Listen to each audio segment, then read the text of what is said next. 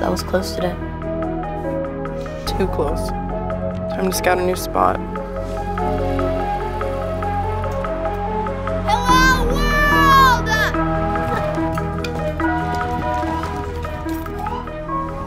Where's mom? Um, she got a new job.